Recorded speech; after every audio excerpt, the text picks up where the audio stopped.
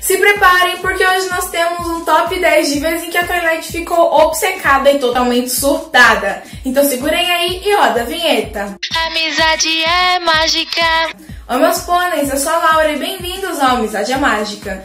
Então pessoal, como eu disse, hoje nós vamos ter no top 10 de vezes em que a Twilight ficou totalmente obcecada por alguma coisa. E a gente vai do nível mais básico de surtos até o mais alto que vai ser extremo, então nem queiram ver.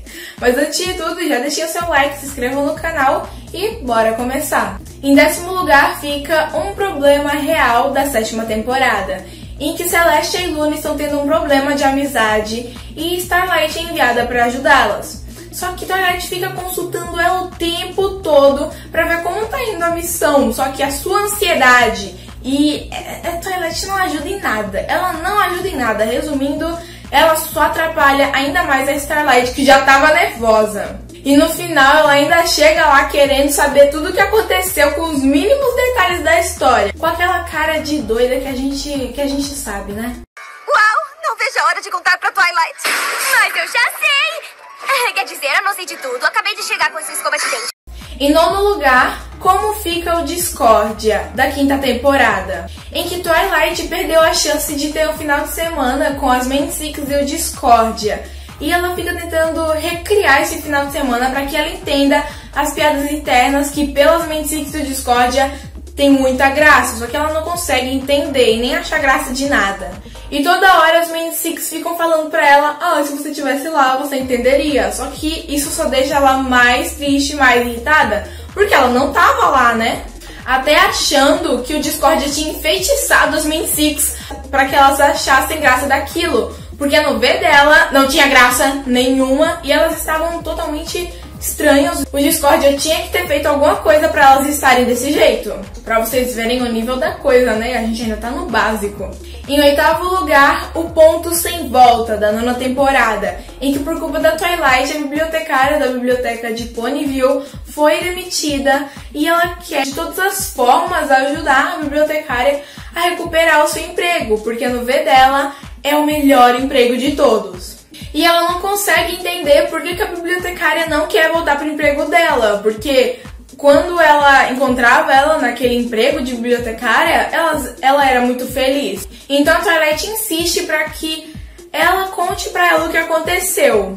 E no final foi ela mesma que quis se demitir, porque não foi culpa da Twilight aquele livro, só um livro que atrasou e enfim, não era culpa da Twilight, ela aprendeu que não deveria ser perfeito o tempo todo, só que isso não vai ajudar em nada, porque no futuro ela faz a mesma coisa. Uh! Em sétimo lugar, fazendo as pazes da sétima temporada, em que Twilight quer fazer as pazes com suas antigas amigas de Canterlot, então elas citam de primeira, na verdade, elas nem, nem achavam que a Twilight queria fazer as pazes, porque elas não tinham terminado com a amizade, mas Ok, pelo ver da Twilight, ela foi uma amiga muito horrível.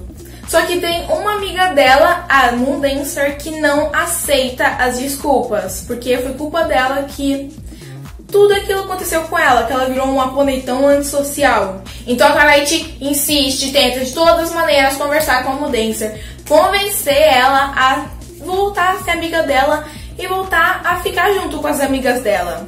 Ela até entra dentro do livro para conversar com a Mundancer e ela parece uma maluca falando com o livro.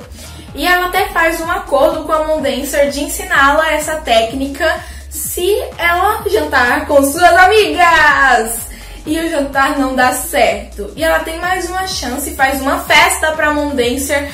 Só que essa festa não vai recompensar o que a Twilight fez, que foi não ir para a festa dela em uma das únicas vezes em que ela tentou se soltar. No final dá tudo certo, elas voltam a ser amigas, feliz, feliz, alegre, alegre. Só que a Twilight é uma pônei muito insistente. Quando ela faz as coisas, ela vai até o final. E eu e ela, se a gente se juntasse, seria dupla insistente. O ia ser muito massa, a gente ia convencer todo mundo. Esse vídeo tá indo pro lado errado. Vamos continuar. Não acredito! Em sexto lugar, o Império do Cristal da terceira temporada. Ela recebe um teste da Princesa Celeste em que ela deveria ajudar barra salvar o Império do Cristal. Mas em vez dela realmente ajudar e prestar atenção no que estava acontecendo, que estava ali quase tudo sendo destruído, a Kendra estava ali quase desmaiando no chão, ela só ligava pro teste. Ela só ligava pra. Ai, eu vou terminar o meu teste. Eu vou passar de ano. Mentira, não é pra passar de ano, mas ela só ligava pro teste. Em vez de prestar atenção no que tava acontecendo, ajudar eles ali, prestar atenção no que o Shine Armor tava pedindo pra ela, ela só tava ligando pro teste. No final, ela desiste de tentar terminar o teste e de ser a pessoa que vai levar o coração de cristal pros pôneis e deixa que o Spike leve o coração de cristal e salve o dia. Agora a gente vai pro top 5, que em quinto lugar fica Casamento em Canterlot da segunda temporada, em que com a vinda do casamento do seu irmão Shining Armor, ela desconfia da noiva, a princesa Cadence, que pra ela tá muito estranha de quando ela era pequena. E ela desconfia de que ela realmente seja má. Ela conta até pras mini Six isso que ela acha, só que elas não acreditam porque tá todo mundo muito entretido com o casamento e todo mundo não liga pra que a Kenya está ali fazendo coisa que ela não deveria fazer. Eu não sei como a Celeste não percebeu isso, mas a Twilight foi a única que percebeu isso. E na verdade ela estava certa. Por que, que ela não era a Candace, sim a, a Rainha Chrysalis se passando por ela? E essa foi uma das vezes em que a Twilight realmente estava certa de tudo. Ela estava certa, gente. E se não fosse pela Twilight, já estava tudo destruído, sério mesmo. Em quarto lugar, já estava na hora da segunda temporada. Dessa vez ela recebe uma mensagem dela mesma do futuro avisando de um possível desastre e ela fica apavorada. Ela tenta de todas as formas prever, impedir e ela também tenta seguir todos os pontos para ver onde vai dar, ficar parada sem fazer nada. Só que nenhuma dessas alternativas dá certo. E como última alternativa, ela invade o castelo de Canterlot para ir lá na biblioteca. Porque ela vai parar o tempo. Só que na verdade não foi bem uma invasão, porque os guardas nem brigaram com ela. Foi tipo, oi Toilette, quanto tempo? Pode entrar? não sei, não entendi isso muito bem, mas ok. E dessa vez eu deveria dizer que foi uma das vezes em que a Toilette ficou mais surtada, porque ela ficou desesperada totalmente. De todas as formas. Por que eu segurando isso? Tentou de todas as formas saber o que estava acontecendo, tentando adivinhar, mas nenhuma forma deu certo. É, foi desesperante mesmo, saber que a sua eu do futuro tá ali te dizendo um desastre, né, que vai acontecer. Mas a Twilight sempre leva um pouco, um pouco além, né? Tapa o olho, isso é mais um sinal! Quase todos os sinais viraram realidade. Eu não fiz nada para impedir a catástrofe. Agora já estamos no top 3, gente. Em terceiro lugar fica Pailing Pink King, da primeira temporada, em que Twilight fica indignada com Pink Pie por ela ter esse sentido Pink, que de alguma forma consegue prever o futuro ou pequenas coisas que vão acontecer, como quando sua cauda treme é que alguma coisa vai cair. Ela tenta de todas as formas compreender, até estudando a Pink Pie, vigiando ela 24 horas para ver o que acontece. Só que ela não consegue entender como isso funciona, porque não faz sentido. É uma magia sem magia. Ela termina tendo um surto total. E essa era a bomba que Pink preveu. Ela acreditar. Mesmo sem ela entender, ela acredita.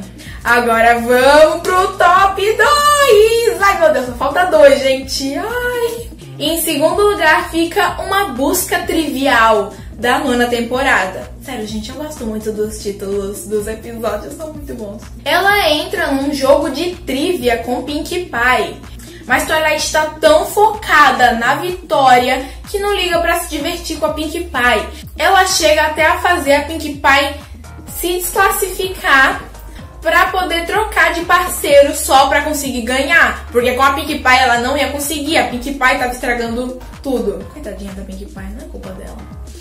Só que a Twilight chega a esse nível, gente, e com essa cara de psicopata, essa cara, essa cara não é normal não. Isso aí tem problemas. Problemas.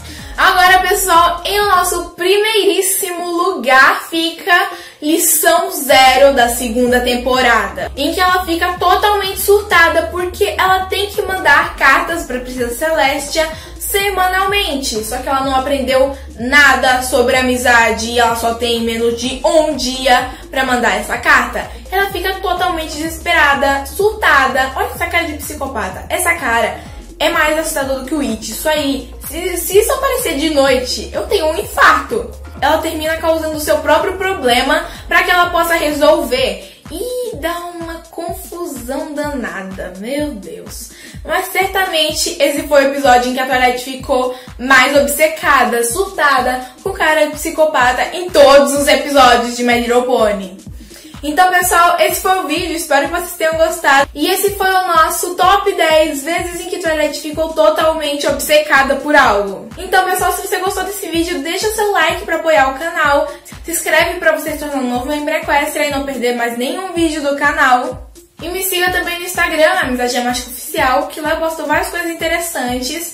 E, pessoal, eu quero muito o trailer de My Little Pony, o novo filme da nova geração. Porque tá demorando muito, já é mês, é outro mês já, setembro. E não veio ainda o trailer, eu tô muito tite. Eu quero muito esse trailer, sério, tá demorando muito. Tipo, trailer, trailer, trailer. Eu tô esperando chegar o trailer pra gente poder fazer o vídeo com todas as coisas que já vieram desde o último vídeo que eu fiz, que faz um tempão já. E daria pra atualizar todas as coisas. Aí eu já falava do trailer, já falava de várias outras coisas também. E eu não queria fazer um vídeo agora falando das pequenas coisinhas que a gente tem. E depois, tipo, eu não sei quando vai chegar o trailer, então pode ser amanhã ou pode ser semana que vem. Então, eu não sei o que eu faço. Eu acho melhor esperar o trailer do que fazer picadinho, sabe? Então a, a, gente vai ter que esperar mais um pouquinho. Estão colocando coisas com mais frequência agora, então eu acho que não vai demorar muito. Então, pessoal, esse foi o vídeo e como eu sempre digo, a amizade é mágica. Tchau!